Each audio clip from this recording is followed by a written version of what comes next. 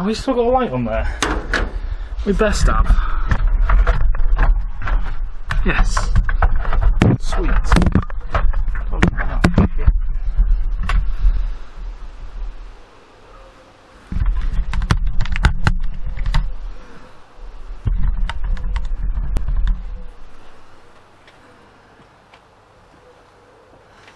Right then.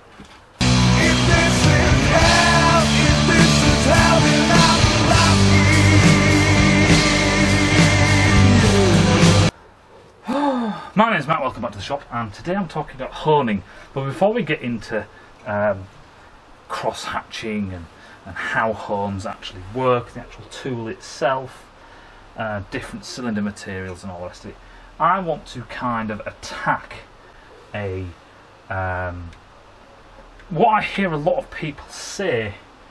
Uh, so, for those who don't know, honing is a process that has nothing to do with engines. You can hone flat things, you hone lathe tools. It basically means just polishing, generally with stones, to bring something um, within tolerance or to uh, basically increase the finish. It's all nearly the same as polishing. Honing, you know, honing your skills means, you know, refining, basically, in a sense. It means basically bringing things within tolerances that you want, uh, dimensions that you want, you know, sneaking up on it kind of thing. So, um, in cylinders we have what we call cross hatch honing, where you'll see scratches in the cylinder. Now these cross hatches are not set. You can have 45 degrees, you can have 60 degrees, you can have um, uh, uh, uh, they'll say 120. 120 usually means that it's inclusive. So you have 60 degree there and 60 degree there. That's where they get 120 from. Um, it depends who does it and what they want to do and how they set up the machine, and you know how the actual hone is done. However, let's just talk about why the hone is done in the first place. The hone is done because you've just bored it out, and the problem with boring stuff out um, with a boring machine or a, a milling machine or even a lathe or something like that is that you are basically cutting a very very fine thread. It's a thread. As the tool progresses, it cuts a thread. There is no way ever around that. All machining is thread, all lathe cutting is threading, and all boring is threading.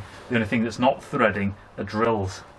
Um, but you are threading. If you have a, a, an automatic feed, you are threading. That's basically all you are doing. And that basically means that when you look at the surface finish under a microscope of a cylinder and the piston, you have these almost vertical, uh, almost horizontal. So if you have your cylinder wall and that's vertical, these are almost horizontal uh, lines. The degree, the angle will be fucking minute. You know, it'll be in seconds. Um, it'll be in seconds and minutes, not in degrees at all. It'll be tiny, tiny angles.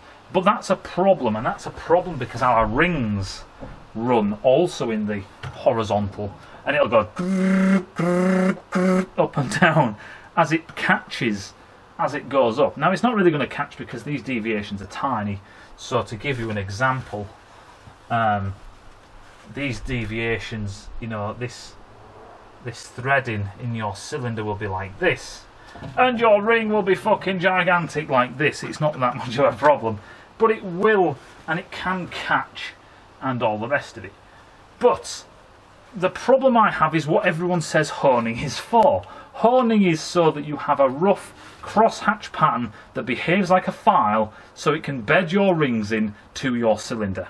That is pretty much trap. It's not really for that.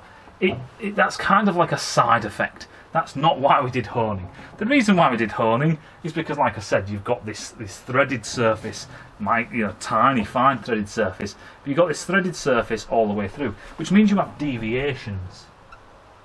Which means your cylinder looks like this, where which one, A or B, is your cylinder bore? Which one is your dimension? Well, it's going to quickly wear out and it's going to shift. So what you want to do is you want to you want to actually wear it out yourself, and that is what a hone is for. A hone basically knocks off all the high peaks down till you get a nice honed polished surface. Then you can take a measurement of that and you can control the size of your cylinder. So you know that in six months it is literally not going to be um, 150 microns larger. The other reason why we then try and control the cross hone pattern, the pattern like this, is because if you did a hone and just spun it in a circle, then you are going to get steps. If you have it like this and you spin your uh, honing tool all the way down your bore at a very very slow speed, then you're just gonna you are going to get a hone and you can do it that way. But there's also another reason, and this is one of the main reasons why we actually do this cross hatch pattern. The reason why is oil retention. So if you look at this, this is us looking at the inside. Just imagine we're sat inside a cylinder, we look at the wall. This is what we're going to see. And then we're going to see some more scratches going the other way. So we get this kind of cross hone pattern like this. And the reason why it's really there is oil retention and oil run back. If you had um, vertical cuts like you would do when you bore it, then the oil, when you look at the side, when you basically do a cross section, um, they're all holes, you know, they're all scratches inside the cylinder surface like this. But with the straight lines, when we've bored it, even if we bored it and we did a really good bore and then we did a really good hone that was a, a radial hone, the oil would then sit in here like this and then it'll dribble out and it'll leak down a bit. And um, you are going to basically oil your cylinder all good. However, the oil is going to stay here, and that is a bit of a problem when you do. Uh, for, it's a bit of a problem for burning oil. That's the problem, emissions, and the, you go through your oil quite fast.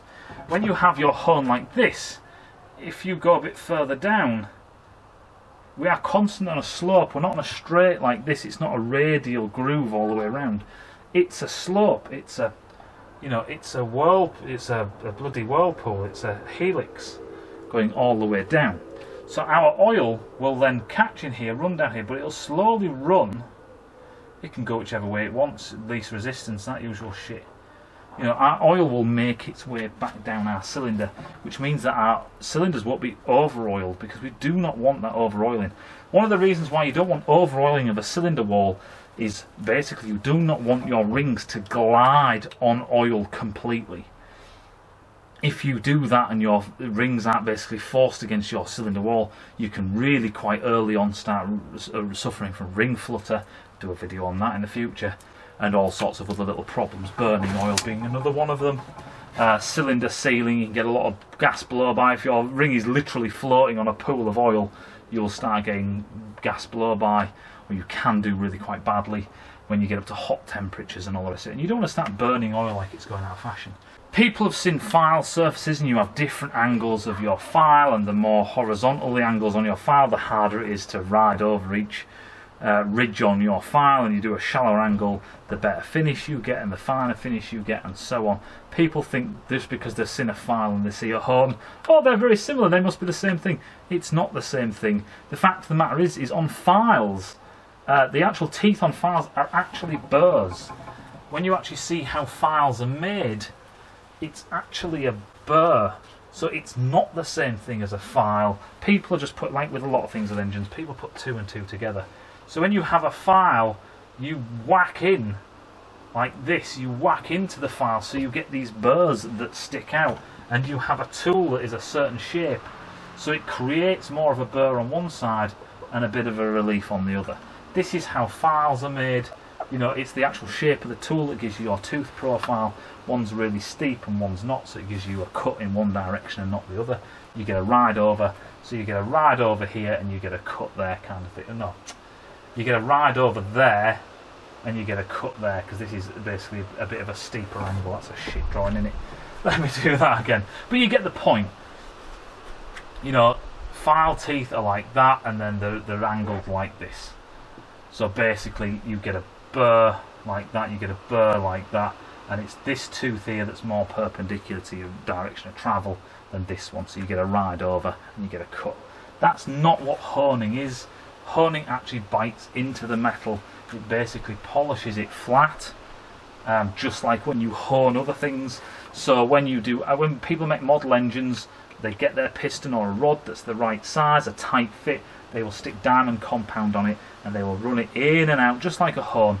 But you are eating into the metal, and you are not doing what a file does, which is actually when you make files, you, the surface is struck, which creates a burr. You're actually polishing off all of the deviations and inciting scratches into the surface. These scratches are what are basically there for oil retention, and the angle of these of these scratches is basically all about oil retention. If you have a a more horizontal angle, a more horizontal angle, then you are going to retain oil for longer. It is going to take longer for the oil to soak down. If you have a steeper cut angle, and all this is you know very much based on how the engine um, is orientated as well. You know what I mean? Uh, if your engine is sat upright, or cylinders in the Ducati where one's laid down, one's sat upright, and so on. The hone is basically down to how much oil retention they want to keep. Back in the day, a long, long time ago, one of the things they used to do at Rolls Royce was to get their cylinder liners and stick them outside for a couple of weeks and let them rust.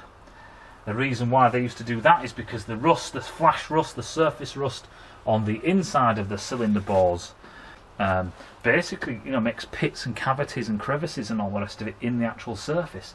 You know, instead of having your freshly machined but under a microscope looks like this nicely threaded, they basically have a surface that look like this, and they just basically it's just surface rust. They clean it off, but there's micro pitting, and then all these cavities used to hold oil.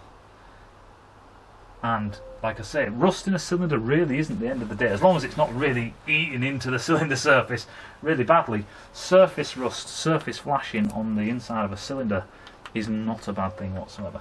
Hope that makes sense. We'll go more into honing the patterns, how they control it, how the machines work, and so on. We'll also go into different coatings, like Nikasil, like other ceramic coatings, DLCs, and the list just goes on and on.